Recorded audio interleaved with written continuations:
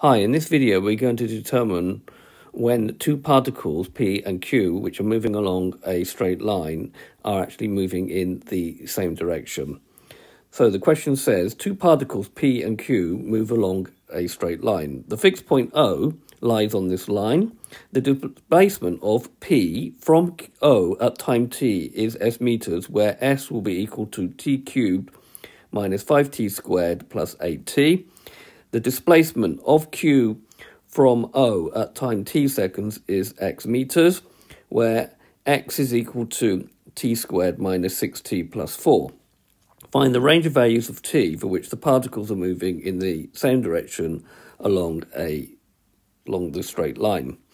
Okay, so direction is actually given by uh, velocity. So what we'll need to do, we'll need to find the velocity function for these two displacement functions. So we've got s is t cubed minus 5t squared plus 8t, and you get velocity by differentiating the, the displacement function. So differentiating, so that will become 3t squared minus 10t plus 8. Taking the second function, a displacement function, we get x is equal to t squared minus 6t plus 4.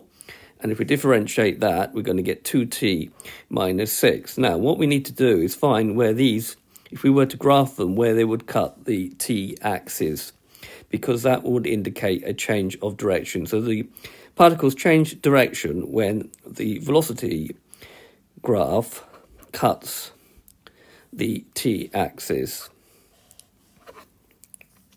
That should be velocity graphs. Okay, carrying on. So finding the roots for those two functions, those velocity functions. Okay, so the first one's a, for p is a quadratic in t, so it's 3t squared minus 10t plus 8.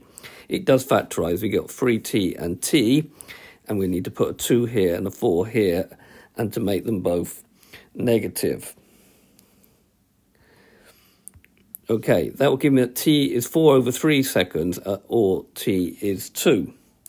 And then for q, we'll need to uh, take this linear graph, and we can very easily see that t is equal to 3. Right, if we now look at the graph of these two functions, so this is just a quadratic, which we could sketch, but I've done it here in GeoGebra. This is the um, velocity of uh, p, and this is the velocity for q. Now, they cross the axes at, at 4 over 3 and 2, and at this point here. But look, between here and here, between 4 over 3 and 2, they are both, the velocity will both be negative. So that means they are moving in the same direction for this part of their journey. Between And also here, the uh, velocity graphs are both positive. That means they're also moving in the same direction. So between here, 4 over 3 and t is equal to 2. They're both in the travelling in the negative direction. Okay, and then here between, for t greater than 3, they're both travelling in the positive direction. So the range of values, so the particles will be p and q are travelling in the same direction for being between 4 over 3 and 2, but not equal to